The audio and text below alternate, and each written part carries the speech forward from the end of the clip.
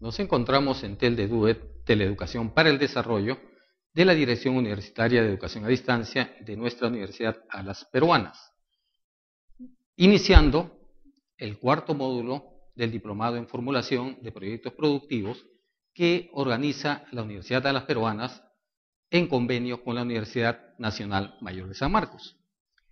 El cuarto módulo que iniciamos hoy día se titula Proyectos de micro y pequeña empresa. Lo saluda el doctor Carlos Enrique Guanielo Paredes, su docente tutor. Aspectos generales de proyectos productivos para la micro y pequeña empresa constituye el primer módulo o submódulo de este curso, cuyos contenidos temáticos son los siguientes. Las MIPES en el Perú. Hay que ver cómo están desarrollando, qué importancia tiene para el país las MIPES en este momento.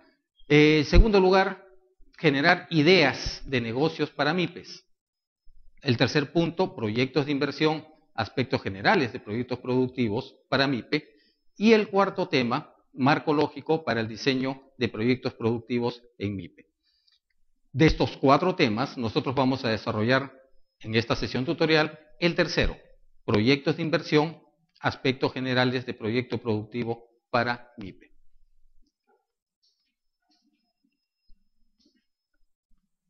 Este tema tiene los siguientes contenidos. La MIPE en el Perú, emprendedores, somos un país de emprendedores, vamos a ver ahora, las características de una pequeña o microempresa en el Perú, la ubicación de un proyecto dentro del contexto del plan estratégico, las características de un proyecto de inversión, el ciclo del mismo proyecto y finalmente un cuadro comparativo que nos va a, digamos, mostrar las fases extremas de las etapas del proyecto en cuanto a preinversión. Vamos a ver la MIP en el Perú. ¿Cómo estamos nosotros, las micro y pequeñas empresas en el Perú? ¿En qué situación se encuentran? El 85% de las micro y pequeñas empresas en el Perú desaparecen antes de cumplir los dos años de operaciones. Y esto es algo eh, inquietante porque ¿a qué se debe esta desaparición? Se debe, entre otras cosas, a que quienes ingresan en el ámbito de las MIPES lo hacen como una forma de sobrevivir. Y cuando alguien quiere sobrevivir, no siempre tiene las competencias necesarias para poder llevar adelante un emprendimiento de este tipo las eh, sucesivas ganancias, los sucesivos ingresos se destinan a la autosubsistencia y, entre comillas, se comen su capital. El 66% de las MIPE desaparecen antes del primer año de operaciones. Sigue siendo preocupante, ¿verdad? Ya no estamos hablando durante los dos años, estamos hablando que un porcentaje elevado, 66%, desaparecen, salen del mercado al culminar el primer año de operaciones o antes incluso. El Perú se dice que es un país de emprendedores. En todo el mundo ya, porque el Perú ya trascendió las fronteras nacionales y está en el mundo. Se dice que el Perú es un país de emprendedores. Es cierto, quizá la crisis eh, de las últimas décadas haya empujado a que los eh, peruanos ingresemos en el ámbito de la producción, como una forma de autosostenernos, de generarnos un autoempleo. Entonces se dice que en el Perú, cuatro de cada diez adultos en este momento está realizando algún tipo de actividad emprendedora, básicamente en las MIPES. Las MIPES en el 98% son parte del empresariado nacional. Solamente un 2% corresponde a la gran empresa. El 78% de la población económicamente activa del país pertenece a la micro y pequeña empresa y el 42% del Producto Bruto Interno está formado por este 78% de la población económicamente activa, que significan los trabajadores del 98% de las empresas peruanas. Podemos afirmar que la unidad empresarial básica entonces de la economía peruana es la microempresa. ¿Cuáles son las características distintivas y fundamentales y principales, porque hay otras más, ¿no es cierto?, de una pequeña o microempresa en el Perú, de acuerdo a el decreto legislativo 1086. Hablamos de microempresa cuando operan con capitales inferiores a 181 mil dólares y tienen menos de 10 trabajadores. Podemos considerar, según este decreto legislativo 1086, pequeña empresa cuando esta empresa opera con capitales entre 181 mil y 2.1 millones de dólares. Y a la vez tienen en planilla entre 10 y 100 trabajadores. Vemos que hay bastante diferencia en ambos casos, en microempresa y en pequeña empresa. ¿Cómo podemos ubicar ya ahora dentro del ámbito de los proyectos que son útiles para el desarrollo de la microempresa? ¿Cómo lo podemos ubicar estos proyectos de inversión en MIPE dentro del contexto del planeamiento estratégico empresarial? Sabemos que plan estratégico puede ser a mediano o largo plazo. Y el plan estratégico persigue metas de distinto tipo. Pero esas metas, como especie de atados, se agrupan en programas. Entonces decimos que las metas de un plan estratégico acaban, culminan, terminan en un conjunto de programas. Cada programa, a la vez, está constituido por un número indeterminado de proyectos. Cada proyecto da origen a un conjunto de actividades y cada actividad se realizan siguiendo un conjunto de tareas. Bien, entonces vemos nosotros que los proyectos son fundamentales para poder articular el plan estratégico con las metas que persigue la micro y pequeña empresa. Entonces, que es un proyecto de inversión orientado a las micro y pequeñas empresas. Es un conjunto de actividades, como ya lo hemos mostrado, que se desarrollan en un periodo de tiempo preestablecido, que es variable.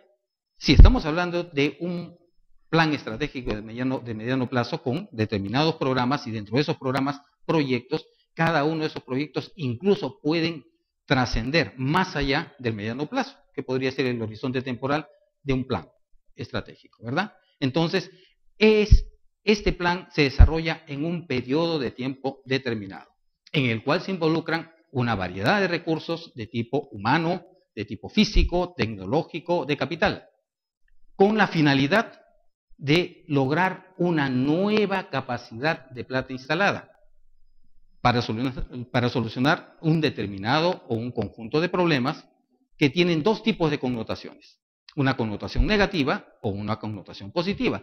Cuando estos problemas son de connotación negativa, se trata de superar una restricción y a la vez puede satisfacerse una o un grupo de necesidades. Y cuando el problema es de connotación positiva, se puede aprovechar alguna oportunidad. Estamos nosotros mirando de frente y con mucha decisión al mundo global. Y el mundo global es un cúmulo de oportunidades. En consecuencia, los proyectos de inversión pueden, en la connotación positiva, aprovechar las oportunidades que nos ofrece la globalización. ¿Cuáles son las características de un proyecto de inversión orientado a la micro y pequeña empresa? Tiene que ser un evento único, no es repetible.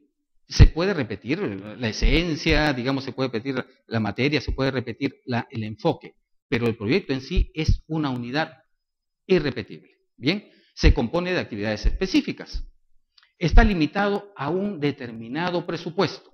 Tiene que haber un dinero de por medio para poder hacer factible la realización de este proyecto y obviamente lograr las metas que se han eh, previsto.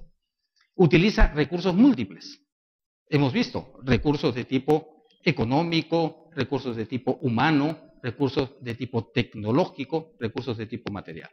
Tiene un ciclo de vida, obviamente con un comienzo y con un fin. Bien. ¿Cómo es el ciclo de un proyecto de inversión para micro y pequeñas empresas. Hay dos instancias, una evaluación ex ante y una evaluación ex post. ¿Qué significa esta evaluación ex, ante? Es antes de hacer las cosas, ¿verdad? Tiene un inicio, como todo en la vida, que comienza con una idea de inversión o una idea de negocios. La idea de negocios la podemos llevar a un nivel de desarrollo en cuanto ya al proyecto de perfil. Y esto esta instancia nos da un documento que se llama el perfil del proyecto. Bien, en base a la evaluación del perfil, nosotros podemos establecer si es viable o no el proyecto. si vamos a poder hacerlo o no lo vamos a poder hacer o podemos postergarlo.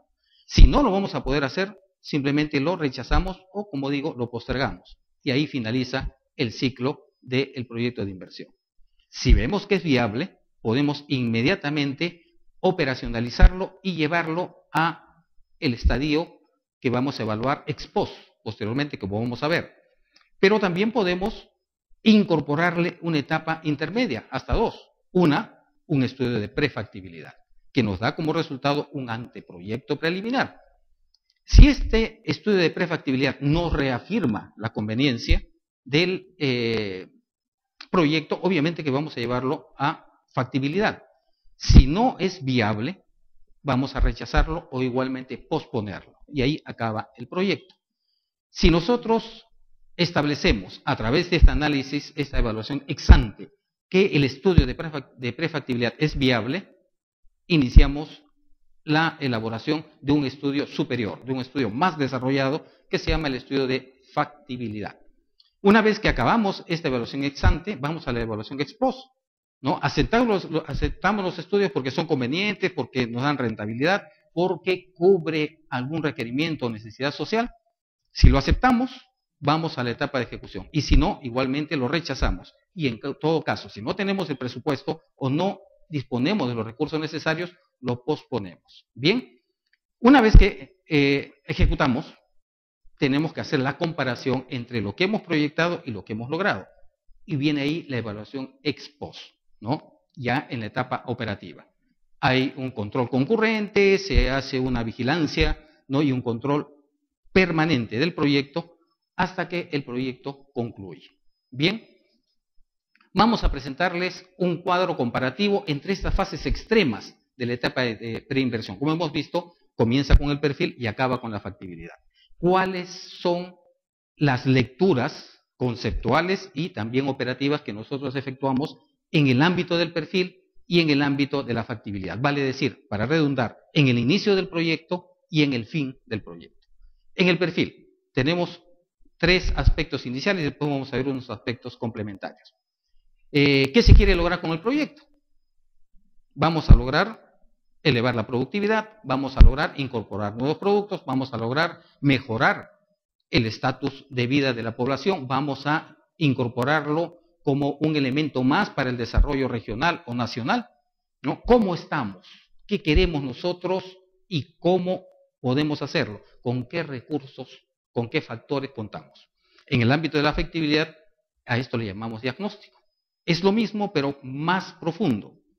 En el perfil, ¿qué bien vamos a producir o qué servicio vamos a prestar? Definimos nosotros el producto y cuánto y cuándo vamos a producir. En el ámbito temporal, ¿cuándo vamos a producir? En la factibilidad, efectuamos los estudios de mercado del producto. Bien, en cuanto a perfil, nos preguntaremos cómo producir el bien o prestar el servicio. Vale decir, cómo elaboraremos el producto. Y en factibilidad, efectuaremos los estudios para establecer qué tecnología es la más apropiada, cuál es el proceso productivo que vamos nosotros a implantar y cuáles son las metas que nosotros esperamos en costos, en diferenciación y en enfoque al cliente. En el perfil, estableceremos qué recursos utilizar para el producto, bien o servicio, cuánto y cuándo conviene utilizar esos recursos. En la factibilidad estudiaremos el mercado y la, la localización de esos recursos y efectuaremos nosotros los estudios también de tamaño. Bien, en cuanto al perfil, nos preguntaremos dónde producir o prestar el servicio o producir el bien, cómo se ejecutará y operará el proyecto y en factibilidad nos abocaremos a los estudios ya de la organización institucional y los aspectos legales que involucra al proyecto. Finalmente, en el perfil veremos cómo se puede financiar el proyecto y en factibilidad elaboraremos el estudio de financiación. Vemos que en estas etapas o en esta etapa inicial con la que comenzamos el ciclo del proyecto, todo es elemental. En cambio, en la factibilidad, todo es ya maduro, todo ya está listo para comenzar a operar. Bien, estimados eh, alumnos, ustedes tienen un trabajo, número uno, que resolver, porque ustedes van a elaborar un proyecto de inversión aplicado a micro y pequeñas empresas, que consiste en lo siguiente. Trabajar la idea de inversión o de negocio, como hemos conversado, identificarán ustedes esta idea, buscarán los datos básicos, estudiarán el entorno para hacer, efectuar el diagnóstico y estudiarán el mercado. Bien, ustedes tienen todo un conjunto de elementos en el campus virtual que les van a ser útil para poder, digamos, de la mano, efectuar su proyecto de inversión para micro y pequeñas empresas. Muchísimas gracias.